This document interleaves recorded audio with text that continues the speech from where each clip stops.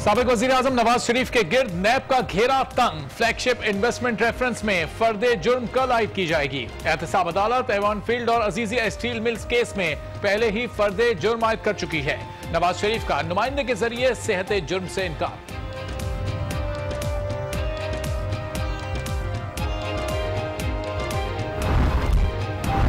नई रविश की अदालतें और निराले ही ढक के फैसले।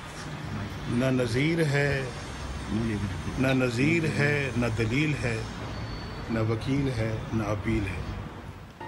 नवाज़ शरीफ का एहतसाब अदालत की कार्रवाई पर शायराना तबसरा। कहा कि पाकिस्तान में इंसाफ हो रहा है या इंसाफ का खून।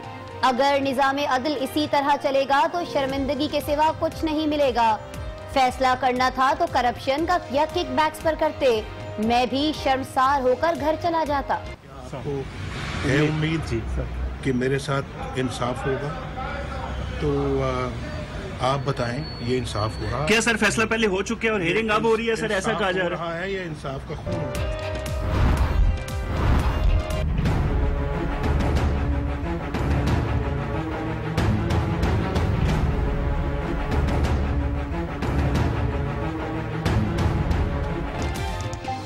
हसन नवाज़ और मरियम सफदर के दरमियान लंदन फ्लैट्स की ट्रस्ट डीड जाली है। मरियम नवाज़ ने असासे छुपाए। एवन फ़ील्ड रेफरेंस में मरियम नवाज़ और कैप्टन सफदर पर भी फर्दे जुर्म लगा दी गई। मुलजमान का इल्ज़ाम मानने से इनकार।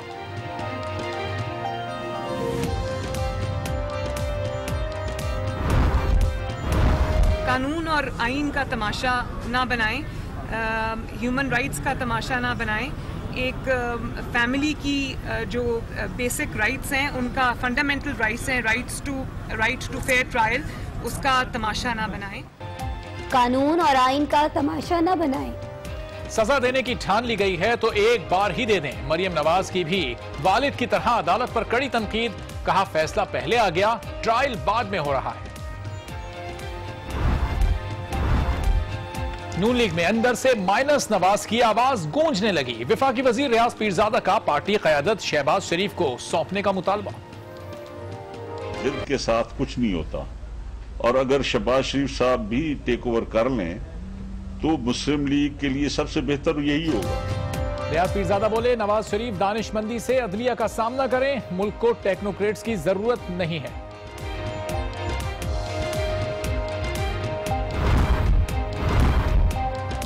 नून लीग के कायद सिर्फ़ नवाज़ शरीफ हैं। मरियम नवाज़ का दो टोक पैगाम।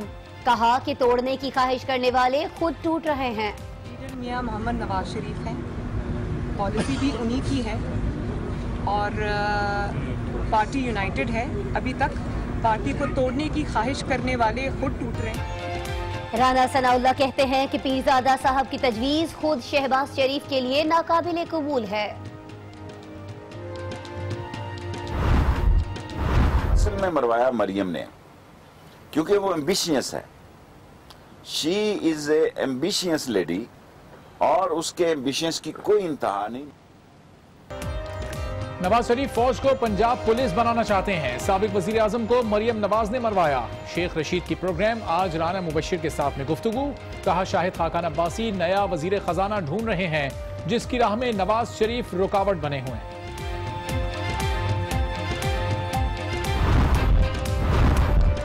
हमें ईमानदारी का जायजा लेना है। इल्ज़ाम है, शेयर्स खरीदने वाले मुलाजमीन जहांगीर तरीन के बेनामीदार थे। नाअहली केस में चीफ जस्टिस के रिमार्क्स। कहा कि तनकीद करने वाले अदालत के बजाय फैसले पर तनकीद करें। फैसला खिलाफ आ जाए तो कबूल करना चाहिए। समात पीर तक मुलतवी। इमरान खान ने हमेशा जमहूरियत पर हमला किया। उनका मुस्तकबिल असगर खान जैसा होगा। बिलावल भुट्टो के कप्तान पर वार। बोले, खैबर पख्तूनख्वा के ठेकों से इमरान का किचन और जहांगीर का जहाज़ चलता है।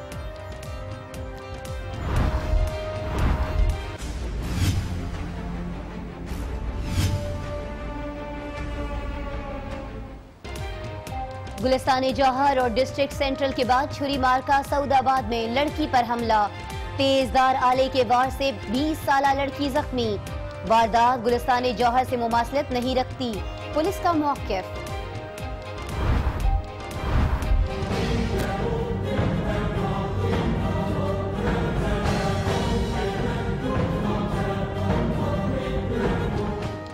पाकिस्तान में स्नैपचैट पर खतरनाक गेम ब्लू वेल खेले जाने का इंकशाफ। अमरीकी इंटरपोल ने पाकिस्तानी इंटरपोल को आगाह कर दिया।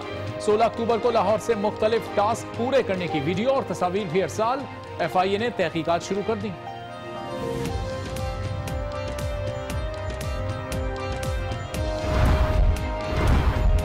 कंदील बलोच कत्ल केस में गिरफ़्तार मुलजिम मुफ्ती अब्दुल कवी के दिल में तकलीफ़। कार्डियोलॉजी अस्पताल मुंतकिल कर दिया गया।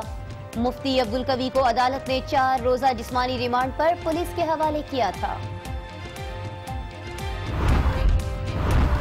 कबादन में वाक़ होटल में धमाका 20 अफराद जख्मी। मसूम के मरकजी बाज़ार में नामालूम अफराद का दस्ती बम से हमला 15 अफराद जख्मी।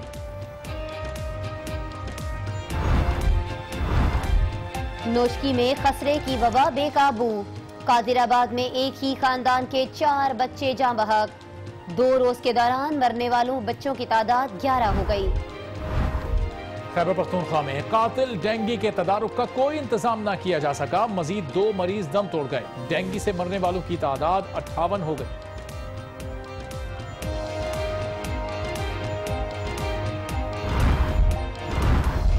तोसा शरीफ में इंडस हाईवे पर कोच और ऑयल टैंकर में तसादुम। तीन अफराद जाँ बहक बीस जख्मियों को अस्पताल मुंतकिल किया गया। आर्मी चीफ का मेडिकल सेंटर अहमदाबाद का दौरा, यादगार शोधा पर फूल चढ़ाए। कहा दहशतगर्दी के खिलाफ इंसानी जानें बचाने के लिए मेडिकल कोर की खिदमत काबिल सताइश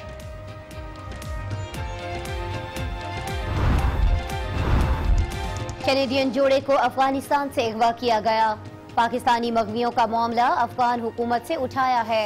बाजियाबी के लिए इकदाम भी किए जा रहे हैं। तर्जुमान दफ्तर खारिजा नफीस जक्रिया की हफ्तावार ब्रीफिंग। कहा कि पाकिस्तान दहशतगर्द गिरोहों के खिलाफ बिला इम्तियाज़ कार्रवाई कर रहा है।